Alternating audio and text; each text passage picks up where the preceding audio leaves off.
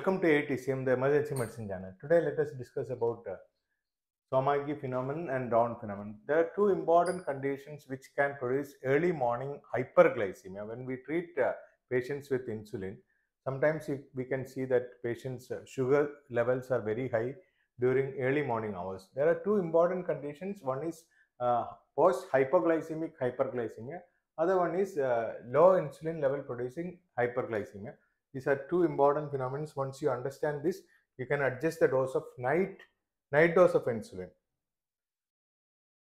So hypoglycemia is one of the major problem when we are treating diabetic patients because uh, patients may be taking insulin, patients may be taking sulfonylureas uh, or uh, other type of OHS, and uh, especially when the patients patients are having uh, renal failure, they can have severe hypoglycemia due to insulin or OHS. That is because most of these drugs and insulin is excreted out through kidneys. So whenever we have hypoglycemia, so you can see here hypoglycemia. If there is an hypoglycemia, there will be counter-regulatory mechanism. That counter-regulatory mechanism uh, maintains our blood sugar to normal level. So uh, according to the blood sugar criteria, it is it has got three important levels: level one, level two, and level 3. Level 1 is blood sugar uh, concentration less than 70 and more than 54. Uh, other one is below 54. Third one, patient can have uh, abnormal altered behavior, mental status, and other uh, physical disabilities. We will not go to the levels here because we are not discussing hypoglycemia that is already discussed. So now we will go to the uh, other important things in this topic. Now symptoms also we have discussed in the last class. Patients can have, there are two important types of uh, hypoglycemic symptom. One is autonomic uh, symptoms, other one, one is autonomic symptom and other one is neuroglycopenic symptoms. Autonomic symptom like uh, anxiety, tremor, palpitation, diaphoresis, paresthesia, sensation of hunger, all these things neuroglycopenic symptoms like uh, lack of concentration, that is low GCS, headache, blurred vision, dizziness, convulsion, confusion, and other CNS manifestation. In that, uh, autonomic dysfunction is very important thing because many patients, uh, like when the hypoglycemia, before the hypoglycemia itself, patient can have these type of symptoms. But patients on beta blockers, that is very important, patients on beta blockers can mask all these symptoms. So, suddenly patient will uh, like uh, uh, they they develop loss of consciousness altered behavior convulsions and all if the patients are on beta blockers. That is called this is called as like hypoglycemia unawareness. So that these are the symptoms. Now recurrent hypoglycemia can damage our nervous system and our cardiac system. Hypoglycemia can produce uh, if the patient develops hypoglycemia every day, there will be increased sympathetic activity, sympathetic, uh, sympathoadrenal response will be increased, increased adrenal level in the body, especially in the early morning hours. That adversely affect our cardiovascular system. So ultimately, patient develops cardiac failure only because of this. So recurrent hypoglycemia also not very good in patients, and many patients who is having recurrent hypoglycemia, you can see uh, weakness of the upper limb muscles wasting and weakness of upper limb muscles. So recurrent, recurrent hypoglycemia actually uh, produces damage to our nervous system and uh, cardiac system in a long term uh, as a long term complication. So now we can see the counter regulatory mechanism. Insulin decreases sugar. So other hormones like glucagon, growth hormone, cortisol, steroid hormones all try to increase the blood sugar. So whenever we have hypoglycemia, these counter-regulatory hormones uh, come into picture. They try to increase the blood sugar. So that is very important. Insulin decreases the blood sugar. It produces hypoglycemia. And when there is a hypoglycemia, counter-regulatory hormones act and uh, body will try to increase the blood sugar. So these, uh, these, this is the mechanism behind Somogyi phenomenon that we'll see afterwards. That is post-hypoglycemic hyperglycemia here all these uh, uh, hormones, counter-regulatory hormones play a major role. Now, one of the important uh, hormone is glucagon that acts on the liver to stimulate glycogenolysis and gluconeogenesis. Uh, that is a main uh, main uh, hormone behind Somogyi phenomenon that we'll see afterwards what is Somogyi phenomenon. So glucagon is one of the important drug uh, which can be given during hypoglycemic episode but body also will try to release a lot of glucagon during hypoglycemia and try to correct the hypoglycemia by increasing the blood sugar. Other than that, you know that epinephrine, that is adrenaline, we are giving uh, cortisol, steroids, we are giving growth hormone. There also these these hormones also will try to increase the blood sugar. That's why they are called as uh, counter regulatory hormones uh, for glucose level. Now, Somogyi phenomenon, we'll see what is Somogyi phenomenon. That is hyper hypoglycemic hyperglycemia. Uh, post hypoglycemic hyperglycemia or rebound hypoglycemia. So normally when we are giving nighttime insulin, suppose a patient is getting 35 units of mixtard, 35 0 35.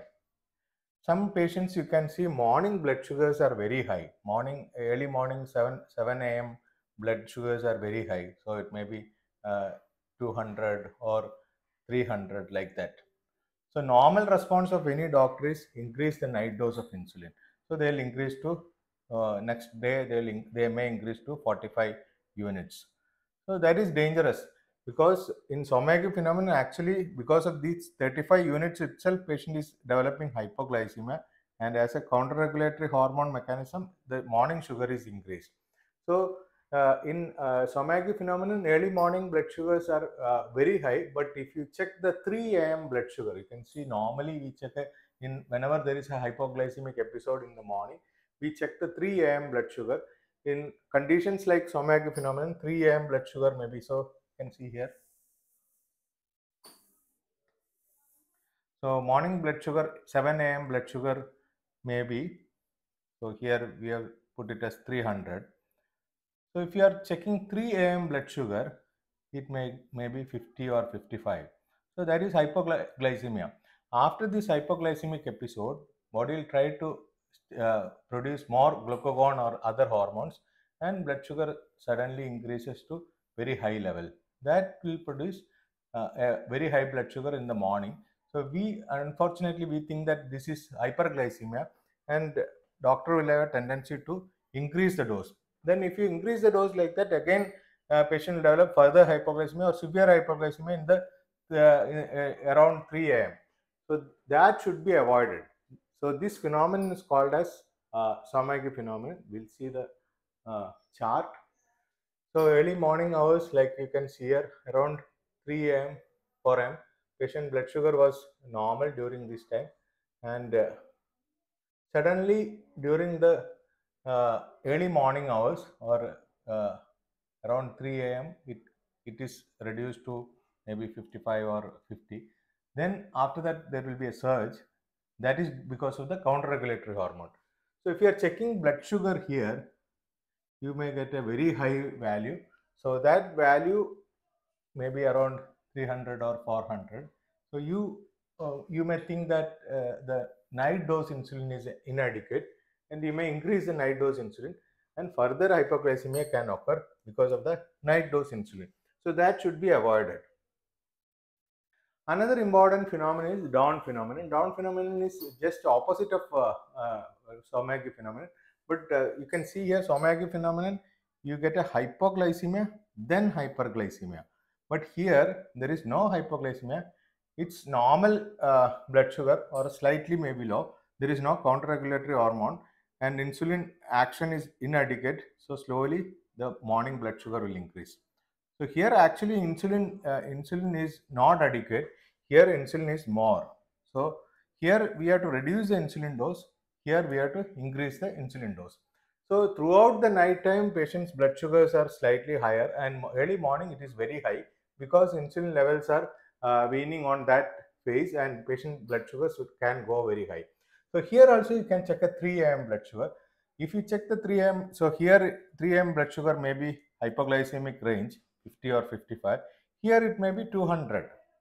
So it is not controlled. Here the early morning 7 o'clock it will be 300 here. It, here also it will be 300. So that is the difference between dawn phenomenon and Somogyi phenomenon. In Somogyi phenomenon, you have to reduce the night dose insulin, whereas in uh, Down's phenomenon, you have to increase the night dose of insulin. So it's a main uh, major problem when we are treating hyper, uh, hyperglycemic patients both in ICU and uh, at home. So you can see here two important time, types of early morning hyperglycemic episodes. One is Down's phenomenon. Throughout the night, patient's blood sugar is normal or slightly higher, and around 7 o'clock, the patient's blood sugars are very high. Here, night uh, sugars are normal. Around 3 o'clock, it dips down because insulin uh, levels are very high here. And then counter-regulatory hormones act and you can see the blood sugars are very high here. So Down's, you can remember it like that. Somogyi means so much of insulin. Insulin dose is very high.